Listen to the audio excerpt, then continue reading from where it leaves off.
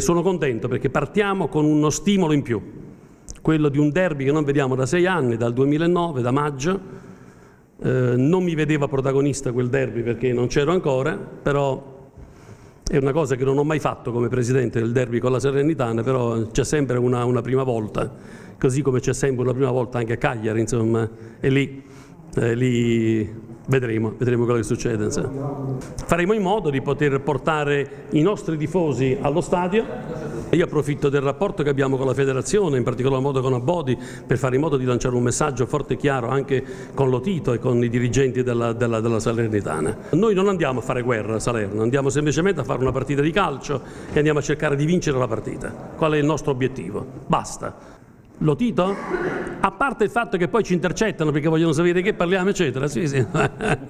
no, ma non abbiamo problemi con, non abbiamo problemi con Lotito, assolutamente. Non l'ho ancora sentito da quando è uscito il calendario. È meglio che non gli dico niente, glielo dico a voce, che andiamo lì per vincere. Sul fronte mercato Taccone ribadisce che non arriverà più nessuno e che Marcello Trotta resterà in bianco-verde. Abbiamo già dato tanto, buono e soddisfacente.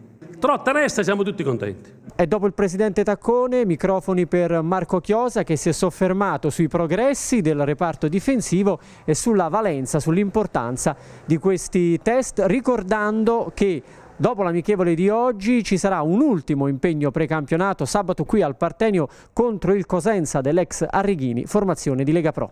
Sicuramente il, queste partite hanno dimostrato ancora il fatto che siamo in, fase di preparazione perché comunque non stiamo preparando le gare dal punto di vista atletico come una partita di campionato perché nei giorni precedenti, molto, molto prima della partita, lavoriamo ancora tanto per prepararci la settimana prossima ad essere al top. L'anno scorso abbiamo fatto bene dal punto di vista difensivo, lo dimostrano i risultati.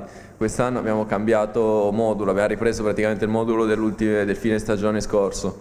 Sicuramente cerchiamo di giocare di più la palla, ma diciamo che per la, la linea difensiva cerca di iniziare molto spesso l'azione con il pallone tra i piedi, quindi diciamo che si può essere più, più vulnerabili ad eventuali, eventuali, errori con la palla al piede, quindi qualche passaggio sbagliato. Sicuramente iniziamo, iniziamo, il campionato con una partita aspettata da tutti i tifosi, era tanto tempo, non so quanto, che non, non si riprese sei anni che non si ripresentava questo, questo derby. Per noi è uno stimolo in più per cominciare bene il campionato. Andiamo in uno stadio che sono sicuro sarà pieno di gente per, eh, le aspettative sono altissime sia da parte loro che da parte nostra, quindi diciamo che come inizio di campionato non c'è niente di più stimolante.